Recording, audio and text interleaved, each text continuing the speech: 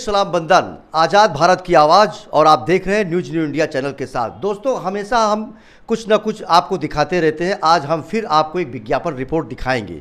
जनपद बहराइच के जरवल रोड, जो बीआरसी भवन है, ठीक इसके सामने एक लाल पैथोलॉजी का यहाँ से आज शुभारंभ हुआ है, और जो प्रोपराइटर हैं, उनके पिताजी भी मेरे बीच में मौजूद हैं। डॉक्टर निखिल सिंह जो चिकित्सा अधिकारी हैं जरवल से वो मौके पर मौजूद थे और एक बेटी के द्वारा इस लैब का फीता काट करके शुभारंभ किया गया है। तो सर स्वागत है आपका और आपके बेटे ने जो इस लैब को डाला है तो पूरा नाम जानेंगे पहले। ये मेरा नाम इनायत हुसैन है क्योंकि मेरे फादर का नाम लखनऊ डॉक्टर के नाम से मशहूर था डॉक्टर विरासत हुसैन जो। आज के पचासों साल पहले जौरबर रोड की जो है सेवा लोगों की करते आए इसलिए हम लोगों ने सोचा कि कुछ नया कर दिया जाए। तो इसलिए हम लोग लोगों ने एक लाल पैथालैब का एक कंपनी मेड जो है डायग्नोसिस सेंटर डाला गया क्योंकि यहाँ लोकल सेंटर जो है ज़्यादा दिन चलते नहीं थे क्योंकि ज़्यादा मशीनें नहीं हैं यहाँ ज़्यादा कोई चीज़ जो है सुविधाएँ नहीं है। इसलिए जो अच्छी मशीनें और अच्छी सुविधाओं के लिए हम लोगों ने एक पैसा लैब डाला है। नाम सुहेल हिदायत है। तो सुहेल भैया जो है कैसे विचारा है किस लैब को डाला जाए? स- सब लोगों से राय मशवरा होने के बाद मैंने ये लैब का आयोजन किया है। काफ़ी अच्छी लैब है। जी। डॉक्टर लाल पैथ के नाम से है। और इस लैब में काफ़ी सुविधाएँ होंगी। सुविधाओं में कैसे क्या क्या रखेंगे? सुविधाओं में सैटरडे संडे कैंप लगेगा हमारे यहाँ जिसमें जो है हीमोग्लोबिन शुगर और कोलेस्ट्रॉल दस रुपए में होगा। और टीएसएच हमारे यहाँ साठ रुपए में किया जाएगा। सैटरडे संडे दो दिन इसका कैंप लगेगा। बाकी हमारे यहाँ हर दिन अच्छी अच्छी जाँचें नई नई जाँचें तकनीक के साथ होंगी और प्लस काफ़ी छूट भी दी जाएगी अपने इस लैब में काफ़ी चीज़ें। बढ़िया बढ़िया सी हैं। बस तो चलते चलते लाखों दर्शक जो हमारे से देखते हैं क्या कहना चाहेंगे कहना मैं यही चाहूँगा कि एक बार सेवा का अवसर दें अब मेरे लैब में अवश्य आएँ और किसी भी तरह की कोई भी तकलीफ़ नहीं होगी जाँच आपको अच्छी मिलेगी।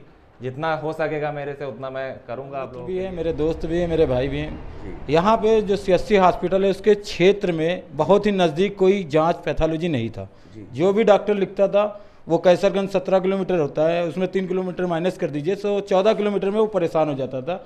उसको काफ़ी तकलीफ़ होने लगती थी। तो ये सब चीज़ें विचार में आने के बाद कि सी हॉस्पिटल के नज़दीक डाला जाए जिससे अगर डॉक्टर लिखें तो तुरंत चेकअप हो जाए तुरंत रिपोर्ट उसको मिल जाए। और सबसे अच्छी चीज़ ये है कि आपको सबसे अच्छा रिज़ल्ट मिलेगा इस चीज़ को। आप सभी क्षेत्रवासी एवं ग्रामवासी सभी लोग आए हमने आपको बताया बीआरसी भवन के ठीक सामने जरबल रोड। तो मैं निवेदन करता हूँ एक बार आप सेवा करने का अवसर इन्हें ज़रूर दें और इनका स्क्रीन पे नीचे आप देख रहे हैं नंबर चल रहा है।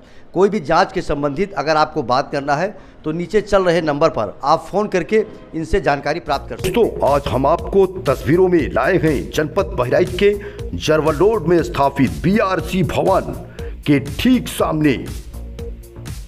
दोस्तों आज डॉक्टर लाल पैथोलॉजी का भव्य तरीके से शुभारंभ होगा। इस वक्त तस्वीरों में बाहर से पिक्चरों को आप देख रहे हैं। मैं धीरे से आपको साइड में ले जाता हूँ, जहाँ पर आप देख रहे हैं वरिष्ठ चिकित्सक डॉक्टर अवधेश शर्मा के बाहर के बोर्ड मैं आपको दिखा रहा हूँ और ठीक इसके बगल दोस्तों, लाल पैथ लैब्स का आज भव्य शुभारंभ हो रहा है। तस्वीरों में आप देख रहे हैं डॉक्टर निखिल सिंह, जो चिकित्सा प्रभारी हैं मुस्तफाबाद से।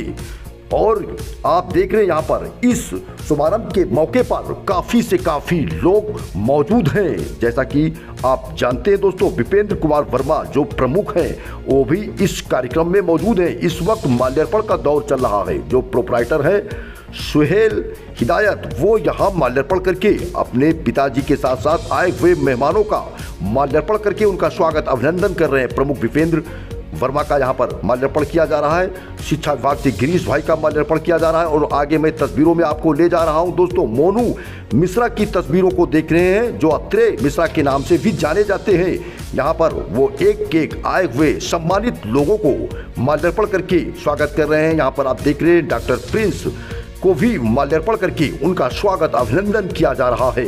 ये सभी वीडियो आप देख रहे हैं न्यूज़ न्यू इंडिया के साथ। विज्ञापन रिपोर्ट के क्रम में एक बार सेवा करने का मौका ज़रूर दें। और अंत में निवेदन है, इस वीडियो को शेयर करते रहे और चैनल को फॉलो करते रहे। धन्यवाद।